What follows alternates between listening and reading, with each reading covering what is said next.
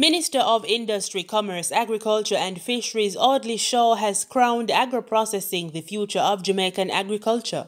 The minister was on location at a farm facilitated on an Agro Invest Corporation AIC Agro Park in Spring Plains, Clarendon last Friday. He also believes idle lands across Jamaica should be put to use for farming purposes. Agro-processing is the next major step that Jamaica has to mature into in order to make agriculture fully uh, be materialized in terms of its full potential for Jamaica. And when this happens, because these are models now, you know, that need to be replicated across the country, because even when you're on my way out here from Kingston, I'm tired for look on idle land. Mm -hmm. Tired. Mm -hmm. Right? And, and, and the irony is, the irony is, where we have idle lands, even on the way from Kingston, guess what we have? Idle hands.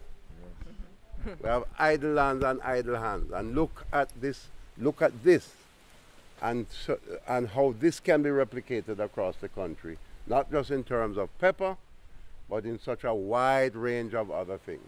The Agriculture Minister thanked manufacturing giant Grace Kennedy for assisting farmers with a market for their crops.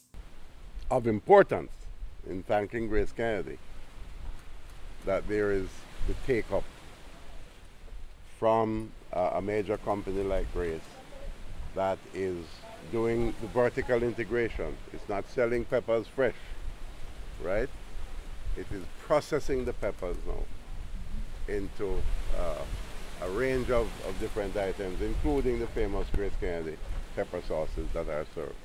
He says the government has plans to place emphasis on short-term crops such as peppers, Irish potatoes, and other vegetables. Minister Shaw also announced plans for the development of a state-of-the-art processing facility in Kingston.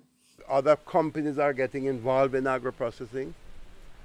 We intend to convert the old AMC complex at Spanish Town Road into a modern agro-processing center. That's part of what yes. the mandate of the AIC. Yes, that we're going to be turning the old AMC complex on, sits on about what, about 10 acres yes.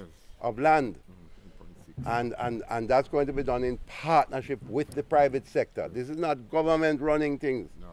This is government facilitating the private sector to make things happen. Also on location was farm owner Gary Colton, whose West Indian peppers were being packed for delivery to a Grace Kennedy processing facility. Mr. Colton praised the AgroInvest Corporation and briefly spoke to the effects the coronavirus pandemic has had on farming. We are trying our very best, given the circumstances of all the setbacks we've had, especially with the, with the COVID-19 um, pandemic. Um, it took about two months out of our growing cycle. So what we're doing now is trying to catch up and, and um, get, get, get cracking.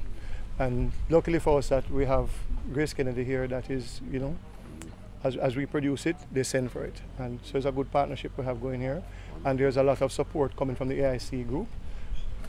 Um, I mean, you know, we, we try to do a lot of things on our own, but if we buck shuffle, slip, AIC is right there to, to catch us up and keep us moving. For the Business Report on PBCJ, I'm Gabrielle Thompson.